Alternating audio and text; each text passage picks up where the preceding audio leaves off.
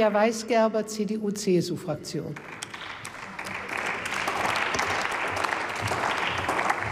Sehr geehrte Frau Präsidentin, werte Kolleginnen und Kollegen! Bitte erlauben Sie mir, heute ausnahmsweise auch die Besucher aus meinem Wahlkreis ganz herzlich zu begrüßen, die mir heute hier zuhören. Wir alle erinnern uns an die Bilder vom vergangenen Jahr aus Simbach am Inn einem kleinen Städtchen in Niederbayern im Wahlkreis von Max Straubinger, das am 1. Juni letzten Jahres infolge heftiger Sturzfluten vom Hochwasser völlig zerstört wurde. Das Leid der Menschen, die ihr Hab und Gut oder noch viel schlimmer gar Familienmitglieder und Freunde verloren haben, ist unermesslich. Mein Heimatland Bayern hat damals sofort reagiert und schnelle und unbürokratische Hilfsgelder zugesagt und schnell ausgezahlt. Das war aber natürlich nur ein erster Maßnahmenschritt, um die Betroffenen bestmöglichst zu unterstützen. Mit dem Hochwasserschutzgesetz II wollen wir weiterhin zusätzlich zu den bereits bestehenden Hochwasserschutzgesetzen unseren Beitrag dazu leisten, dass die Planung für Genehmigung und Bau von Hochwasserschutzanlagen erleichtert und beschleunigt werden. Meine Damen und Herren, Hochwasserschutz ist wichtig, vielleicht wichtiger denn je. Das steht außer Frage. Aber man sollte die Notwendigkeit von Geboten und Verboten auch genau hinterfragen und abwägen und dann die Maßnahmen ergreifen, die wirklich für den präventiven Schutz des Eigentums vor Hochwasserschäden dann auch erforderlich sind. Wir in der Union nehmen den Schutz des Eigentums vor zu weitgehenden Eingriffen dabei sehr ernst. So auch beim Vorkaufsrecht der Länder für Grundstücke zum Hochwasserschutz, das von vielen Seiten, darunter auch der Landwirtschaft, stark kritisiert wurde. Denn der Verkäufer weiß im Vorfeld nicht, ob das Bundesland das Grundstück dann auch kauft. Das sorgt für Verunsicherung und kann Auswirkungen letztendlich auch auf den Grundstückspreis haben. Ich begrüße es daher ausdrücklich, dass das Vorkaufsrecht nun auf die Flächenkulissen beschränkt ist, die auch wirklich für den Hochwasser- und Küstenschutz erforderlich sind.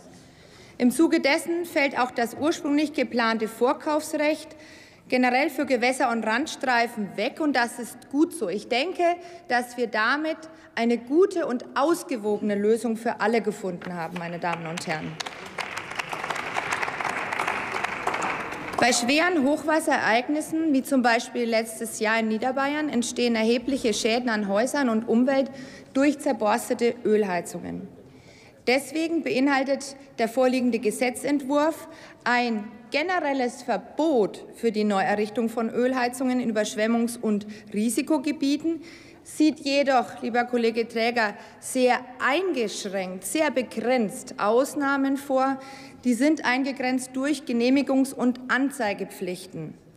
Und dabei haben wir zusätzlich im Gesetzgebungsverfahren auch klargestellt, das ist ebenso ganz wichtig und eine Verbesserung zum Gesetzgebungsvorschlag, dass jede Ausnahme dann auch hochwassersicher zu errichten ist.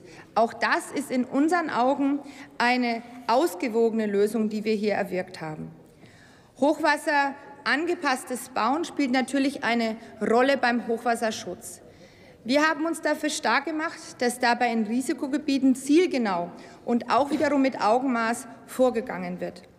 Dort, wo ein Bebauungsplan vorliegt, muss die Kommune den Hochwasserschutz bei der Planfeststellung berücksichtigen.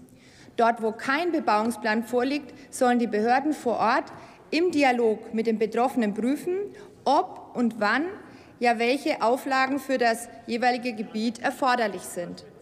Dabei muss jede Auflage auch, und das ist ebenfalls wichtig, im Verhältnis zu dem möglichen Schaden gesetzt werden.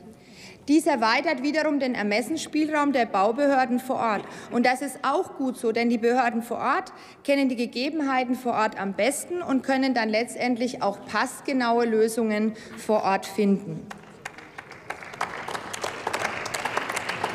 Schließlich haben wir festgelegt, dass Anforderungen an ein Hochwasser angepasste, an eine Hochwasser angepasste Bauweise im Außenbereich nicht gelten, wenn dies technisch nicht möglich ist. Und das ist beispielsweise bei Fahrsilos der Fall, da ein solches Silo durch ein, eine Hochwasserschutzmaßnahme nicht mehr befahrbar wäre. Dies ist vor allem auch eine gute Nachricht an unsere Landwirte, meine Damen und Herren. Zusammenfassend bin ich der Meinung, dass das Hochwasserschutzgesetz II einen guten Rahmen setzt und erlaubt, zielgenaue Maßnahmen mit Augenmaß vor Ort zu treffen, auf mögliche Hochwasser zu reagieren, ohne dabei zu überzogene Auflagen zu treffen und über das Ziel hinauszuschießen. Vielen Dank für die Aufmerksamkeit. Vielen Dank. Die Aussprache ist damit beendet und wir kommen unter Tagesordnungspunkt